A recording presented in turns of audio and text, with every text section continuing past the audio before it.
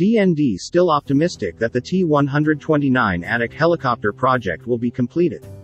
Please like and share the video, and subscribe to the channel.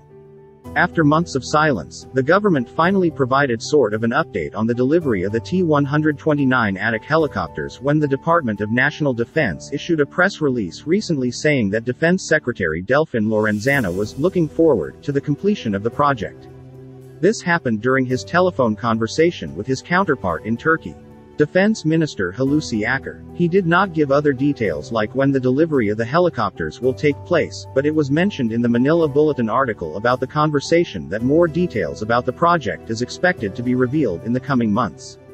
If it can be recalled, the Department of National Defense announced in May 2021 that the first two of the T-129 helicopters will be delivered in September 2021, but that entire month passed without any such delivery being announced.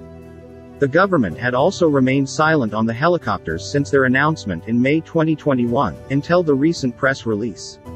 For more about the T-129 helicopter issue, kindly refer to the video I released a couple of weeks ago titled, No Deliveries in September, Will the T-129 helicopters be delivered instead within 2021?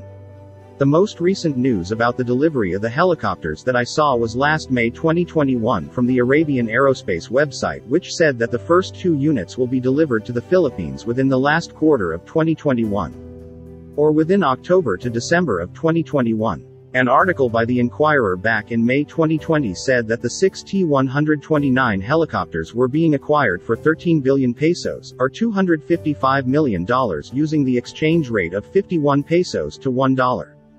This breaks down to 2.17 billion pesos or $43 million per aircraft. Thank you for watching the video, I invite you again to like and share it, and subscribe to the channel.